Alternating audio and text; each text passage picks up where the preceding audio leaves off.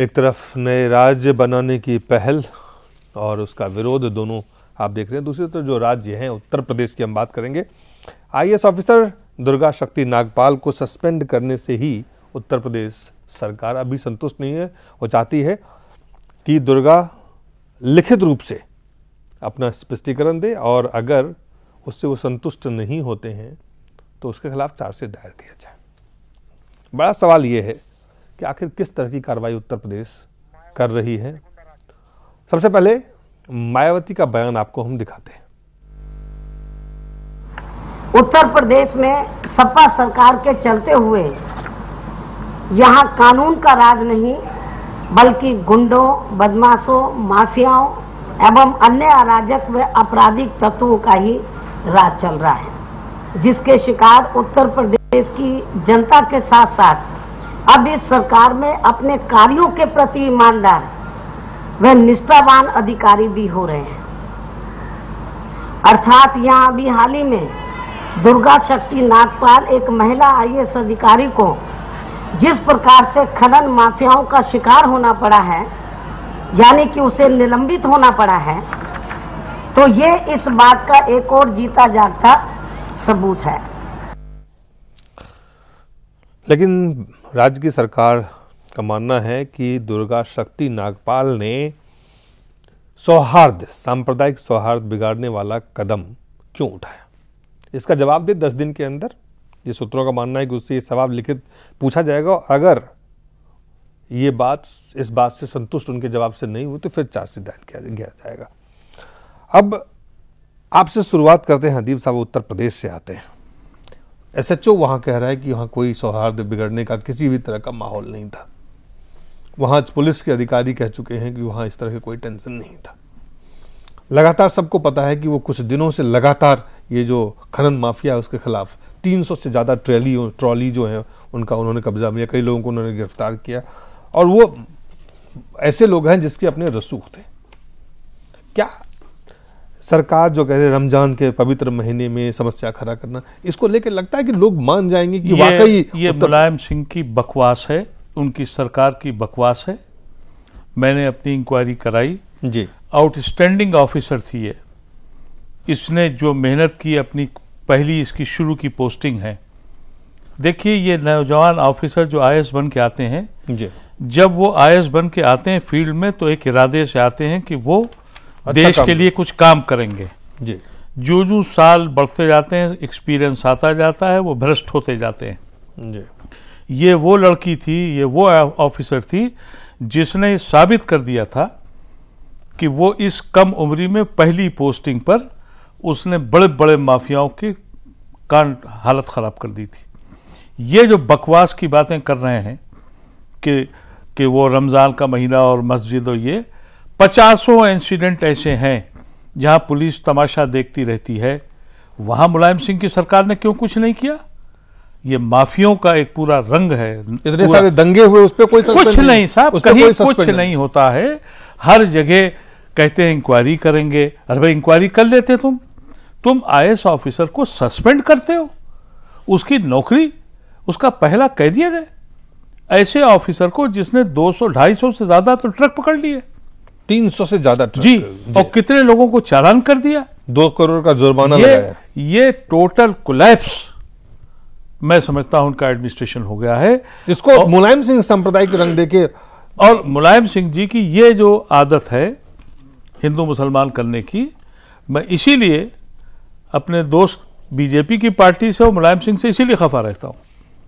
ये कौन सा रंग दे दिया इन्होंने? मैं खुद ग्रेटर नोएडा के लोगों से कल से मिल रहा हूँ। कि भाई कौन सा झगड़ा था? उनका साहब कुछ नहीं था। वहाँ एक बड़ी पुरानी मस्जिद नमाज़ होती थी। उन्होंने बाउंड्री वॉल बनाई उसने आके बाउंड्री वॉल गिरा दी। अब उसने बाउंड्री वॉल अगर गिरा दी उसका कहना यह कि तुम्हारी ज़मीन पे नहीं है। इसकी इंक्वायरी होनी चाहिए। सरकारी ज़मीन है। इसमें कौन सी कौन सी हिंदू मुसलमान कर दिया उसने? ये सिर्फ़ दिखावे की बात है। मैं समझता हूँ मैं इतनी समझ समझता था चीफ मिनिस्टर को कि कम से कम इस इशू को उसकी मेरिट पे लेंगे। इसको इस तरह की गुफ्तगु करके इस तरह की बातें करके ये सिर्फ़ इलेक्शन की बातें आज भी समझ में आ रही इनके। और एक अच्छे ऑफिसर को नकेल डालने की बात हो रही है मैं इसको कंडेम करता हूँ। जी। श्याम जी दो दो पहलू हैं। एक पहलू है ईमानदार ऑफिसर को कार्रवाई के करने के। अगर आप पुरस्कार उसको नहीं दे सकते हैं हौसला बढ़ा नहीं सकते हैं तो उल्टा आप कार्रवाई करते हैं तो संदेश किया जाता है अधिकारियों में, दूसरा देश में क्या मैसेज। लेकिन सबसे बड़ा सवाल है कि उनको सरकार चलानी है।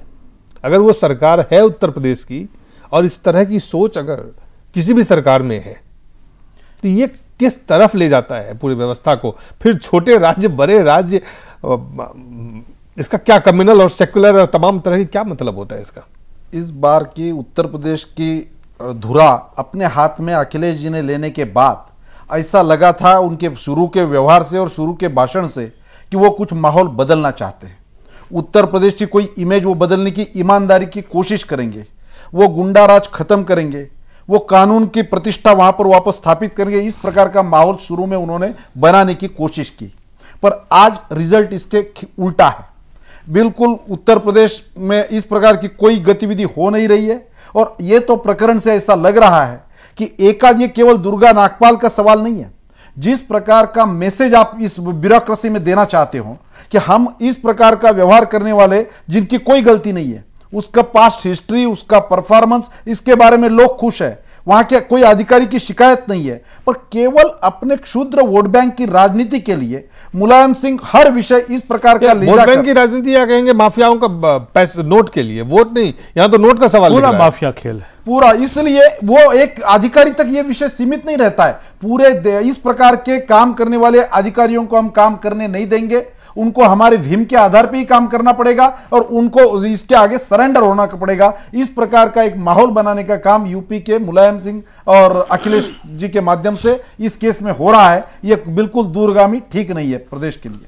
पुष्पेंद्र, दो खबरें आ रही थी कि अखिलेश को इस बाबत जानकारी नहीं थी, लेकिन जब यह फैसला लिया गया, तब तक उसके कई घंटों के बाद अखिलेश को ये पता चला कि ये उनके ऑफ़िस में ये फैसले लिए गए हैं, ये कार्रवाई के फैसले किए गए हैं। देखिए, दिलीप, मैं पहले दिन से कह रहा हूँ कि अखिलेश मुख्यमंत्री ज़रूर हैं, मुख्यमंत्री की कुर्सी पर ज़रूर बैठे हैं, लेकिन इस पूरी जो शासन है उत्तर प्रदेश का, उसको पाँच लोग चला रहे हैं, जिसमें आज़म खां हैं, शिवपाल यादव हैं, राम गोपाल यादव हैं, मुलायम सिंह यादव ये चलते फिरते चार पाँच मुख्यमंत्री हैं। उनकी कोई हैसियत नहीं है अखिलेश की, सिवाय लैपटॉप और साइकिल बांटने के अलावा।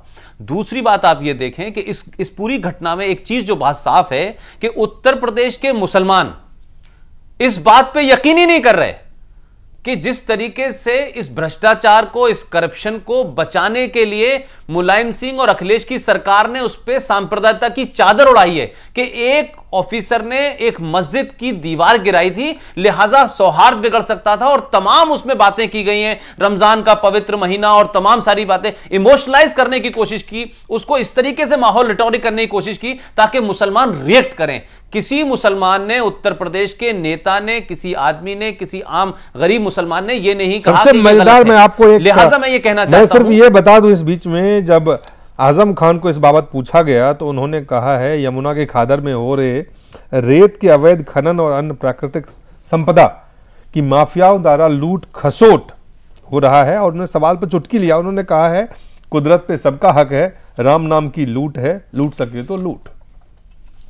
पुष्पेंद्र। देखिए आज़म खान के बयान जो है ना नहीं आप बल, मैं बल, आपकी बात मानता हूँ। एक तो देखिए अगर हम इसको ये कहें कि क्या वो ये मानते हैं कि उनके राज्य के अंदर लूट हो रही है बिल्कुल तो वो आप अगर, क्यों है? अगर लेकिन, जो अगर, जी। लेकिन आज़म खान के हमेशा बचकाने टाइप के जवाब होते हैं और वो फिर इससे मीडिया में सुर्खी बटोरते हैं। इतनी ही बार उनकी काबिलियत है। मैं जो दूसरी बात जो कह रहा हूँ जो बड़ा सवाल है जो श्याम जी भी समझ रहे होंगे और अदीप भाई के अदीप भाई पहली बार उत्तर प्रदेश के अंदर कोई एक सौ सात छोटी बड़ी सांप्रदायिक घटनाएँ हुई। हमारे दोस्त इफ्तार गिलानी ने पूरे तीन महीने तक इस पर रिपोर्ट तैयार की। एक एक कांस्टेबल को, एक एसएचओ को इधर इस इस थाने से उस थाने ट्रांसफ़र नहीं किया गया। लेकिन एक माफिया को बचाने के लिए कोई बहाना नहीं मिला तो आपने कहा कि उसने एक मस्जिद की दीवार तोड़ी है, सौहार्द बिगड़ रहा था। लिहाजा न सिर्फ़ हम उसे सस्पेंड करेंगे, आप ट्रांसफ़र भी कर सकते थे। सस्पेंड करा, फिर उसके बाद आपने कहा कि अब हम चार्जशीट करेंगे। इससे लगता है कि उत्तर प्रदेश के अंदर अब सांप्रदायिकता का इस्तेमाल जो है, अब तक लोग एफडीआई में वोट देने के लिए करते थे, रिजर्वेशन में वोट देने के लिए करते थे सरकारें बनाने के लिए करते थे, बीजेपी को दूर रखने के लिए करते थे। अब इस सांप्रदायिकता का एक नया चेहरा आया है कि भ्रष्टाचार को बचाना है तो उस पर सांप्रदायिकता की चादर डाल दो, ताकि बात यह भी हो जाए कि हम सांप्रदायिकता के खिलाफ खड़े हैं और हमारा काम भी हो जाए। तो मुलायम सिंह ने कि एक नए किस्म की, मैं कहता हूँ कि यह एक सोच पैदा की है जो खतरनाक है। जी, पुष्पेंद्र, बहुत बहुत धन्यवाद। अजीब साहब, बहुत बहुत धन्यवाद। हमारा समय खत्म हो गया। श्याम जी, बहुत बहुत धन्यवाद आप सब लोगों का। बहुत बहुत धन्यवाद।